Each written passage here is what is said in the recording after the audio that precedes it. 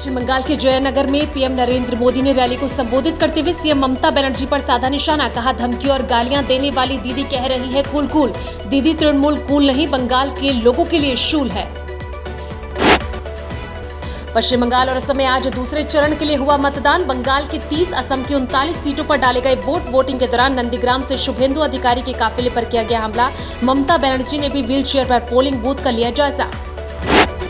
बंगाल के नंदीग्राम में एक पोलिंग बूथ पर जमकर हुए हंगामे को लेकर सीएम ममता बनर्जी ने कहा, चुनाव आयोग से की गई कई बार शिकायत, लेकिन नहीं हुई कोई कार्रवाई। सीएम ने राज्यपाल से की केंद्रीय बलों की शिकायत, कहा, अगर चुनाव आयोग ने कार्रवाई नहीं की, जाऊँगी कोर्ट। बीजेपी के राष्ट्रीय अध्यक्ष जेपी नड्डा ने केरल के करुनागपल्ली में एक चुनावी जनसभा के दौरान विरोधियों पर साधा निशाना, कहा, कांग्रेस का अर्थ है मिशन इन करप्शन। एलडीएफ और यूडीएफ दोनों इस भूमि के सांस्कृतिक निर्माण को नष्ट करने का बन रही कारण। केरल के कायमकुलम में सीएम योगी आदित्यनाथ ने एलडीएफ कांग्रेस व यूडीएफ पर हमला बोलते हुए कहा, देश के सबसे समृद्ध राज्यों में शामिल केरल को जिन बुलंदियों को छूना चाहिए था, वो कहीं न कहीं पिछड़ गया है। आज इसका प्रमाण है कि कोविड प्रबंधन में केरल सरकार का विफल होना। दक्षिण फ़िल्मों के सुपरस्टार रजनीकांत को मिलेगा फिल्मी दुनिया का सबसे बड़ा सम्मान दादा साहेब फाल्के अवार्ड। केंद्रीय सूचना और प्रसारण मंत्री प्रकाश जावड़ेकर ने दी इसकी जानकारी।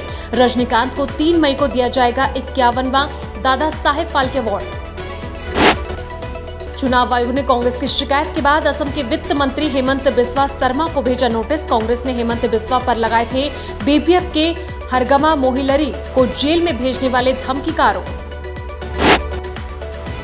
कोरोना के बढ़ते मामले के बीच केंद्र सरकार ने अप्रैल में रोज वैक्सीनेशन करने के दिए निर्देश। केंद्र ने राज्यों और केंद्र शासित प्रदेशों से कहा कि सरकारी छुट्टी वाले दिन भी सरकारी और प्राइवेट सेंटर पर लोगों को टीका लगाने की व्यवस्था की जाए। बॉलीवुड की दिग्गज actress Kiran Kher blood cancer से जूझ रही। मुंबई में चल रहा एक्ट्रेस का इलाज। चंडीगढ़ भाजपा के अध्यक्ष अरुण सूद ने दी यह जानकारी। पिछले 24 घंटे में कोरोना के बहत्तर नए केस आए सामने। चार सौ उनसठ लोगों की गई जान। कोरोना के कुल मामले एक करोड़ बाईस लाख इक्कीस हज़ार छह सौ पैंसठ हुए।